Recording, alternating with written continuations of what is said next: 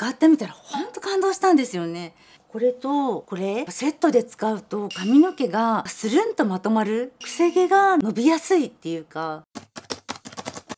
皆さんこんにちは。美容家の先岡めぐみです。今日は1000円台ドラコシャンプーおすすめ第2弾ということで夏といえば髪の毛が湿気でうねったりしません？あとは紫外線ダメージとかも受けるので白髪とか薄毛とかも気になるよっていう方に向けてうねり系とスカルプ系をご紹介したいと思います。是非最後までご覧ください。うねり系のおすすめはこれしかない。うねり補正成分が配合されてるんですよ。原料メーカーさんにこれきちんと高価濃度配合された商品なんですかって聞いたら教えてもらったのがこちらです。ナンバー S うねりコントロールシャンプー。あそんなの通りよね、うん、はい。おすすめの悩みはくせ毛うねりそれからダメージにもいいです。泡立ちがきめ細やかなんですよね。だからすごくいいです。で洗浄力も申し分ない。頭皮はすっきりするのに髪の毛はしっとり。私のような細いダメージもくせ毛でも指取りが良くなって滑らかな仕上がり。ドライヤーをかけるとわかるんだけれどもくせ毛がスルンとまとまる感じなの。このメーカーさんは幸せホルモンが多く分泌される香りとかを独自に研究している会社さんっていうことで有名なんですよね香料にもこだわってると思います青りんごとピーチが混ざった香りがしますあんまり高級感があるとは言い難いんだけれども、まあ、私は好き。成分説明いきますね。紙骨格にアプローチする宿毛補正発想で癖うねりを整えながら洗うシャンプー。髪骨格って何のことかっていうと髪内部のタンパク質構造って書いてあるのでコルテックスのことだと思います。以前の動画でご説明してるんですけれども髪の構造ってキュウリの海苔巻きみたいなもので海苔がキューティクルコルテックスがご飯キュウリがメデュラっていう三層構造になってます。もう簡単に言うとね。そもそも髪の毛全体のタンパク質の割合って8割なんですよ。コルテックスただでさえ面積髪の毛に占める割合が高いでしょ？そのコルテックスのタンパク質の結合が偏ったりとか空洞化とかします。そうすると変形しちゃうよね。つまりうねりやくせ毛の原因になりますよね。この海苔巻きのご飯重要じゃない？ご飯が隙間があったりとか偏りがあったりすると海苔巻きだらーんとなるじゃない？それと同じでタンパク質の結合の空洞部分を埋めてちぐはぐになったコルテックスの歪みを補正してくれる成分も配合してるんです。私が大好きな原料がファイバーハンスっていう原料なの。権威ある世界最大の原料店インコスメティクスグローバルで金賞を受賞した原料です。グルコース由来の原料です。あの糖ね。糖が、えっと、毛髪の内部コルテックスまで浸透してケラチンと結合することで毛髪の強度を高めていって張り腰を付与してくれますよ私も猫っ毛なんだよね。すごい。だから張りと腰欲しいんですよね。ケラチンの過強剤って言ってまあケラチンの結合剤なのでダメージによるケラチンの流出も防いでくれますよね。でしかもこれもともと糖なのでたくさん水分保持してなんかねプルンとしたような髪の質感になるんですよ。ちなみに何が宿毛矯正発想なのっていうとサロンの宿毛矯正ってコルテックス内のタンパク質の結合を一旦外すんです。まっすぐに結び直す方法なんですね。それをヒントにして結合の歪みを補正するイメージっていうことだそうです。ファイバーハウスは原料メーカーさんからサンプルいただいて使ってみたらほんと感動したんですよね。プルンと水分保持されて張り腰が出る。仕上がりもなんか滑らかで私はシャンプーに混ぜても使ってたんですけどもあのアウトバスでも使ってました。でサロンさんではパーマの前処理剤としても使うみたいですね。その他の成分もこだわってます。ボタニカルケラチンと言われる加水分解エンドタンパク、まあ、さらにタンパク質の元であるアミノ酸を補給していくよっていう。で毛髪にサラサラ感と張り腰をさらに与える。低分子のペプチド加水分解大豆タンパク。でしなやかさも与えます。植物由来のジメチコン代替成分加水分解バーバブ種子エキスっていうのがあるんですけども紫外線とか熱から髪を保護して湿気が多い環境でも髪の縮れを抑制してくれるよっていう。髪に強度を与えるデータもあります。あとはメドフォーム由来のラクトン誘導体っていうんですけどもメドフォームデルタラクトン熱を与えることで髪の毛のケラチンのアミノ基っていう分子とメドラクトンが結合することでダメージ紋を改善しますよっていう原料ですね。ドライヤル熱によっていい効果を出してくれますよっていう原料ね。同じくメドフォーム由来のセラミド類似物質もこちら配合されています。まあ、水分油分を与えるっていうことですね。であとは微量だと思うんですけどもアンレーベルさんと同じビタミン C 誘導体テトラヘキシルデカン酸アスコルビル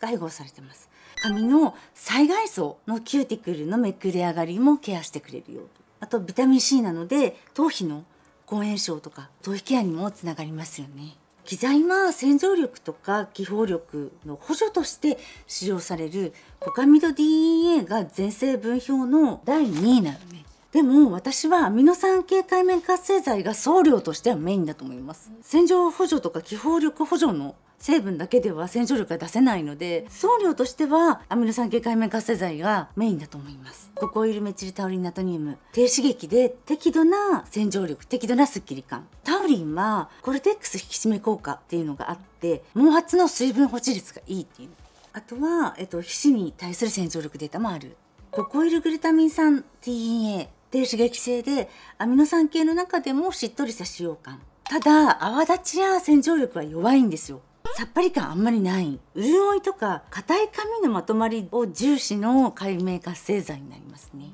で1%以下だと思うんですけども低刺激のダウロリメチルアラニンナトリウム。が配合されてますね。これも適度な泡立ち適度な洗浄力。でそれにこちらのベタイン系良性界面活性剤気泡力とか洗浄力を補助しています。ラウラミドプロピルベタインは界面活性剤の刺激緩和してくれる成分でもあります全体的にあの洗浄力はマイルドめだけどもベタイン系の界面活性剤で洗浄力を補助してきちんと汚れは取れるんだけれども過剰に取りすぎないよと髪にしっとり感を残す処方になってるなというふうに感じました。ポリクオータニウム10あのカチオン化セルロースコアセルベーションっていうものが起こってすすぐ時に滑らかな指通りを叶えるっていう。コアセルベーションについてはちょっとこちらの動画でお話してますのでご覧ください。注意点としてはカチオン海面活性剤が配合されてるんですけれども要はこれプラスに帯電した海面活性剤ということ。頭皮はマイナスに帯電してるからプラスに帯電した海面活性剤来るとくっつくよね。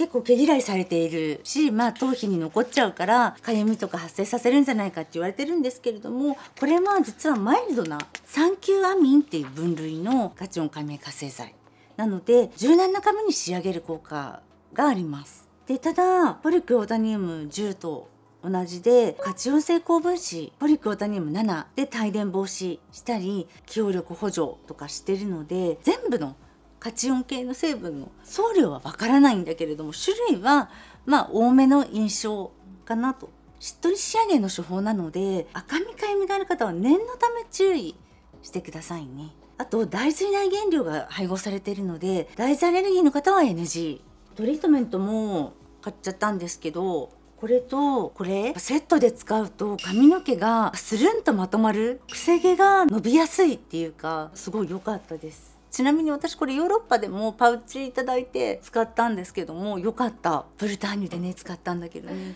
すっごい強風で寒風塩気のある風でしょ。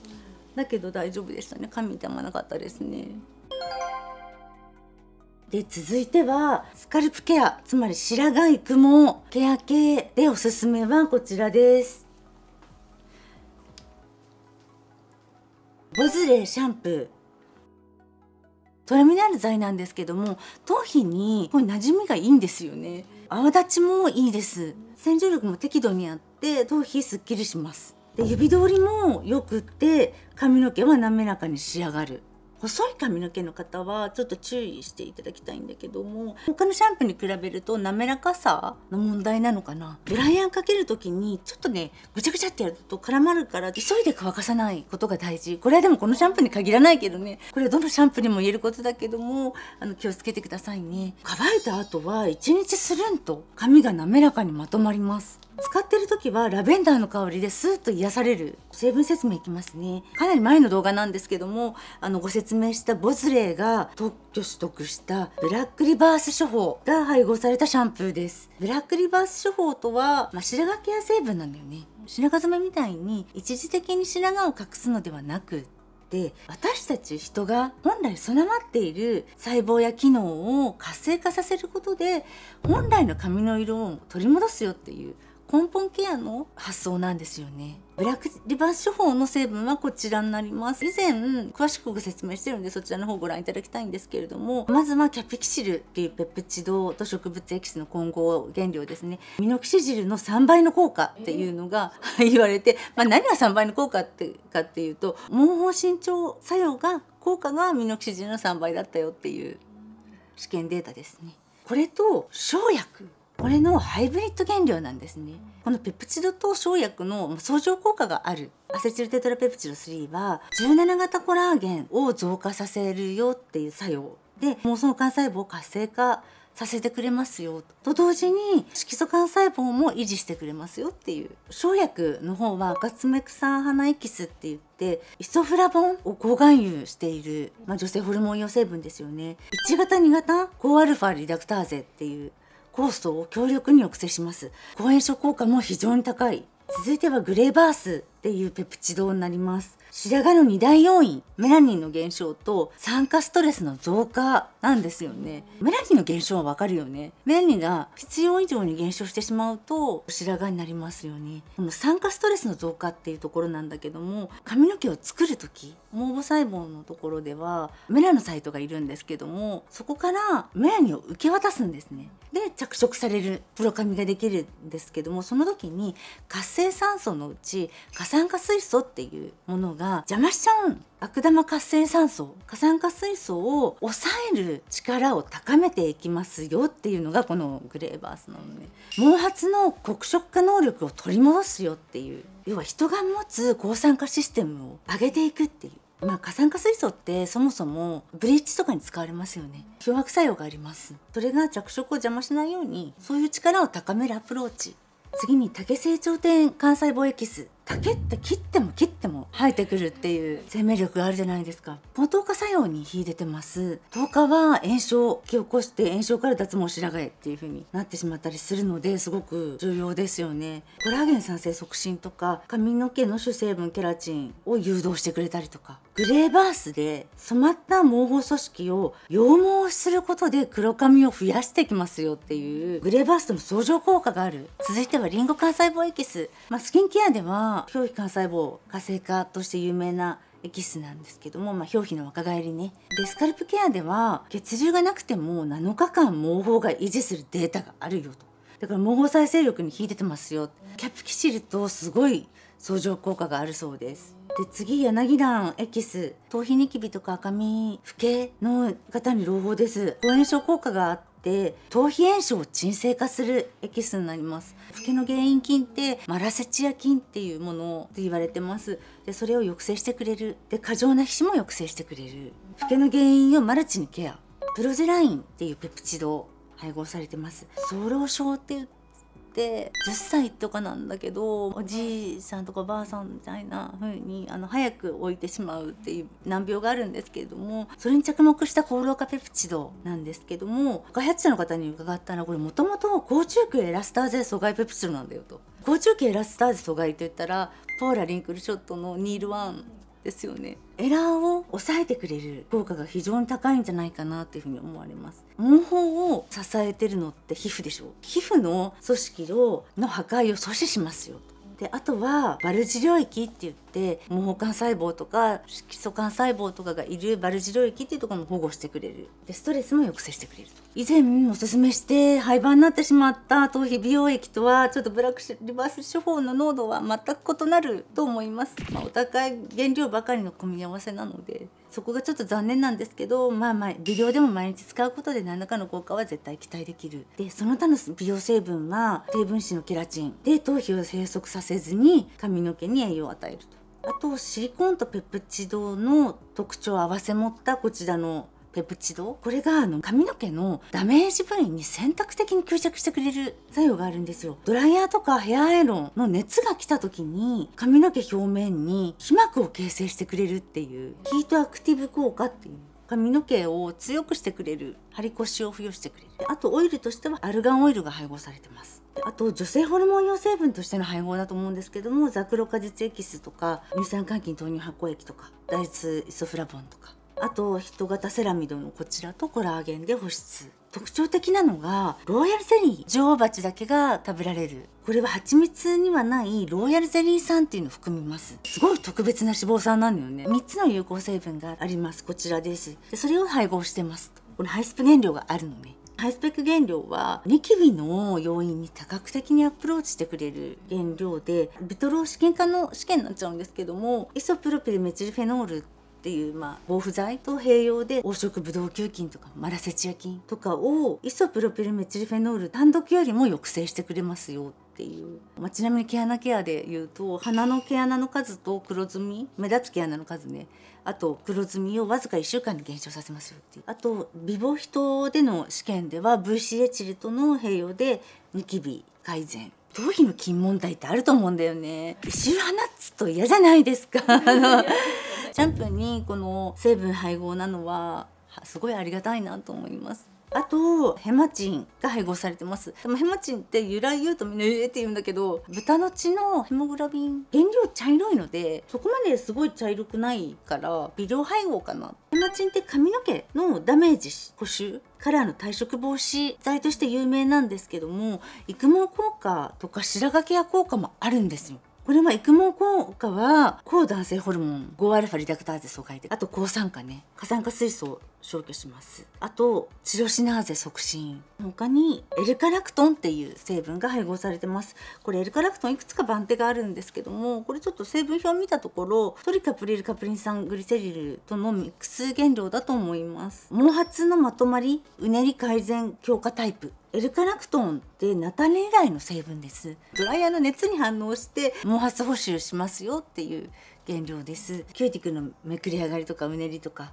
絡まりを持続的に改善するよっていう手触りも良くなっていくよっていう。基剤はアミノ酸系海面活性剤がメインです。ココイルメチルタウリンナトリウム適度な泡立ちと適度な洗浄力スッキリ感コルテックス引き締め効果によって水分保持率がいいですよっていう。あとココイルグリシンナトリウム。が配合されてるのねグリシン系って石鹸に似た使用感なんですよ。で洗浄力高いです。他のアミノ酸系海面活性剤って弱酸性で使用されることが多いんですけれどもグリシンって中性からアルカリ性で洗浄力発揮するんですよね。でちょっと髪のきしみ感じやすい、ま、さっぱりした使用感になります。コイルグリシンナトリウムは石鹸よりも高い安全性なのでそこはご安心ください。で泡もクリーミーなのが特徴です。ラウロイルサルコシン TEA サルコシン系のアミノ海面活性剤って初めて作られたアミノ酸系海面活性剤なんですよ。洗浄力や泡立ちはいいです。ラウドリサルコシンナトリウムっていうのもあるんですけれどもこれは TEA を選んでますね。で TEA タイプは低刺激なのでご安心ください。石鹸に劣らない洗浄力がありますよ。で弱酸性で優れた気泡力クリーミーな泡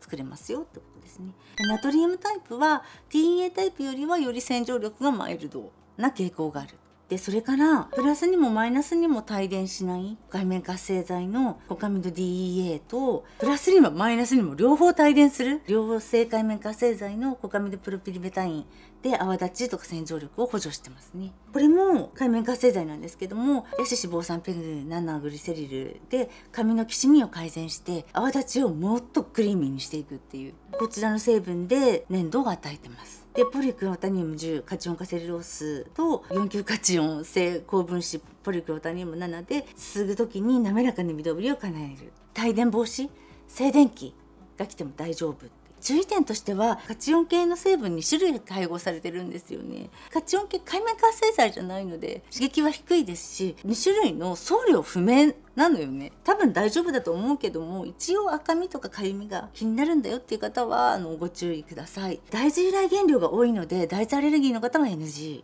以上だったんですけれどもいかがでしたでしょうか？自分がシャンプー開発するんじゃないかと思うぐらい本当にたくさんのシャンプー使いました。その中から開発者目線で見てあのおすすめをご紹介しています。今後まだこのドラコス1000円大おすすめシャンプーシリーズ続きます。しかも1000円以下の商品も出てきますのでぜひ続編も楽しみにお待ちいただけたら嬉しいです。この動画が面白かったよとかためになったと思ってくださった方ぜひチャンネル登録高評価お願いいたします。ではまた。